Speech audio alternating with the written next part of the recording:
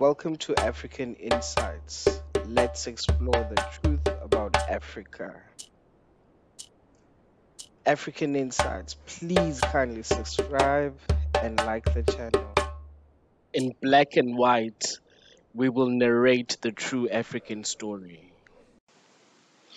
There was never people called Khoisan or San or Khoi or Hottentots or Bushmen. Its expressions used by false scholarship who are uninformed of who indigenous people are because it suits their perspective by naming indigenous societies into their own accord, not correctly how they would refer to themselves. Through derogatory slurs and racial stereotypes, African people were dehumanized and stripped of their dignity. These terms not only reflect the ignorance of the past, but also highlight the ongoing need for education and awareness. Terminology surrounding these groups has been a subject of debate and discussion among scholars and indigenous communities.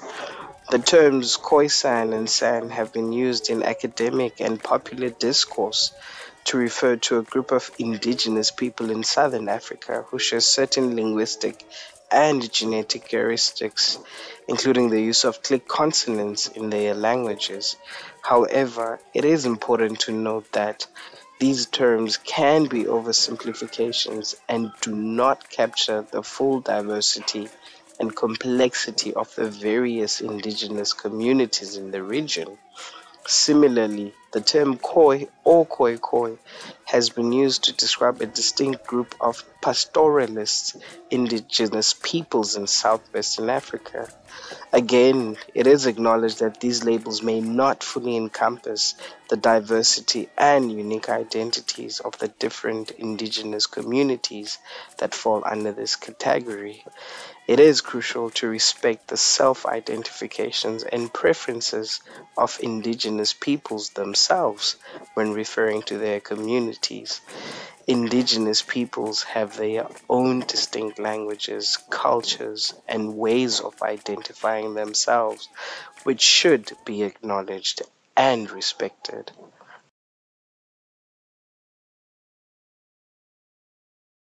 African people through pictures. Pictures that were depicted by engravers or more relatable illustrators before the 18th century. We start off with Jacques Kuyper, a Dutch printmaker born in 1761. This is his depiction of the Khoikhoi. The Khoikhoi, the early white settlers called the Hottentots. Khoikhoi means real people or men of men. These are his illustrations or engravements in Cape Good Hope, Southern Africa. In all honesty, it's not a coincidence that these Khoikhoi people resemble the chevron patterns in the great walls of Zimbabwe and also for a 17th century engraver to depict stone houses. Next up is Henry Abraham Chatelain. He was a Dutch cartographer born in 1648 and passed away 1743. He was basically depicting the customs and habits of the people who live around the Cape of Good Hope, the Hottentots. Next up, we have Robert Jacob Gordon, born 1743 and passed away 1795. He was a Dutch explorer and depicted people of the Namaqualand, Namaqualand being an arid region of Namibia and South Africa. He does have illustration of Hottentots and has even depicted the Xhosas, which are found in the Eastern Cape of South Africa. From the illustration of the previous image, do note also the sandals worn. This is actually supported by a book that was authored in 1772 by Andrew Sparrman, a naturalist. In the book, he goes to show the filled shoes and also some ornaments belonging to the Hottentots. On top of that, as well, he further depicts um, tools that the Hottentots use. We will now move to the kingdom of Mutapa. This empire was spread across southern Africa from the Limpopo and Zambezi rivers to the Indian Ocean. It encompassed what is now Lesotho, South Africa, Mozambique, Swaziland, Zambia, and Zimbabwe. We now move to Nicolas de Larmessin, a French engraver born 1632 to 1694, who illustrated the great empire of Mutapa or Monomotapa. This is King Monomotapa by Nicholas.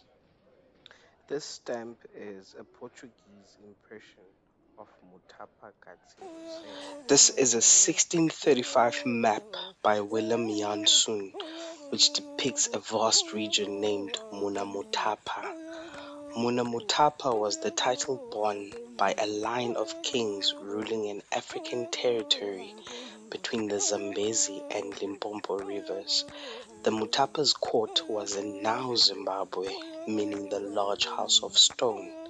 Now, do you think it's a coincidence that from this first kingdom comes one of the most intellectual and skilled people we know as Shona? Remember the close link I want to establish to the kingdom being spread from South Africa to Zimbabwe to Lesotho to Swaziland. One of the ancient legacies of the San people, what they call Bushmen, is rock art. The rock art created by the Bushmen, also known as the San people, is a remarkable expression of their culture and heritage. These paintings were made by applying pigments to the surfaces of rock shelters or cave walls. The pigments were typically derived from natural materials such as minerals, ochre, charcoal, or plant extracts. Now, where are we going with this rock art? Remember, one of the minerals used to make the art was ochre, and now the first mine known to the world mined ochre and is in Swaziland, southern Africa. We have thought of East Africa, Omo Valley in Ethiopia to be specific, as having the first human remains. However, fossils recovered in the Rising Star Cave in 2013 in South Africa have rocked one of the most enduring foundations of the human story that Homo sapiens arose in a cradle of humankind in East Africa about 200 years ago, whilst the discovery of the South African fossils have been reported to be likely as 335,000 years old. Just right next door to South Africa, the oldest mine in the world is in Eswatini.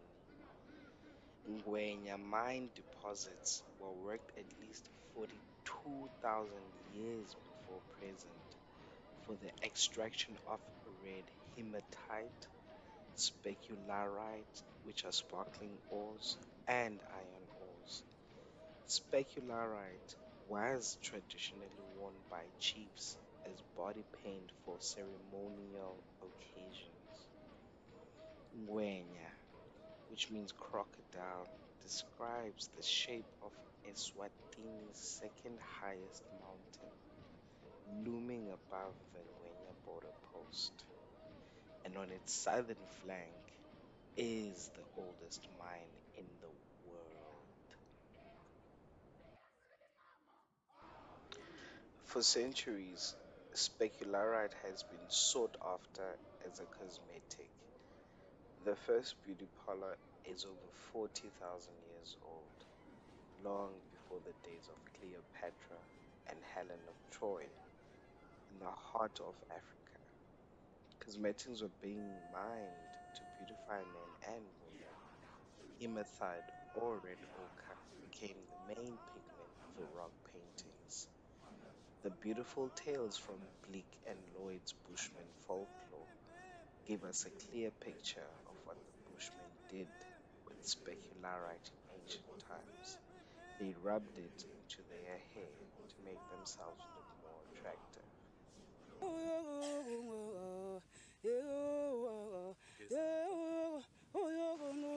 The first mention of Khoikhoi in European travel literature comes from the journal of Bartholomew Dias, the Portuguese sailor who first rounded the Cape in 1488. Dias wrote that he and his crew sighted land in a bay which they called Angra dos Vaqueiros because of the many cows seen there, watched by their herdsmen and since they had no language which could be understood, they could have no speech with them, but rather they drove off their cattle inland, as if terrified at such a new matter, so that we could learn no more of them. They were black with woolly hair, like those of Guinea, he proclaimed. The Portuguese did not conquer this region, but chose rather to become allies. Trade and interaction continued with the Portuguese for some 160 years, only up until the first Cape commander, Jan van Riebeeck, who describes them as a brutal gang living without any conscience. However, before his time, two Dutchmen, Leendert Jansen and Matthias Proot, wrote in about 1649 letters to the directors of the Dutch East India Company of how the Khoikhoi would benefit the company by their presence at the Cape and arguing against other prevalent viewpoints whereby they wanted the caretakers of cattle, sheep, and goats to be the Khoikhoi. Jansen and Proot said, Others will say that the natives are brutal and cannibals, from whom no good can be expected, and that we will have to be continually on our guard. But this is a vulgar error. They defended the Khoikhoi, who killed boatmen and sailors, saying it was only revenge on those that seized their cattle. The Portuguese and British had different perspective and approaches towards the indigenous peoples they encountered in their respective colonial endeavors at the Cape of Good Hope in South Africa. On the other hand, the British arrived at the Cape in the late 18th century and eventually established a significant presence. Their approach towards the indigenous people, including the Khoikhoi, was influenced by, the, by their expanding colonial ambitions and views of racial hierarchy prevalent at the time. The Khoikhoi and San were displaced from their land and experienced erosion of their identity by acts of genocide inflicted by the Dutch, British, and German settlers. They also suffered greatly under the early segregation policies of the English and the later apartheid regime of the Afrikaners and were later absorbed into the Afrikaans speaking colored communities, while others were absorbed into dominant societies around them, both African and European, and into the populations of laborers who were brought from Malaya, China, and from other regions of Africa.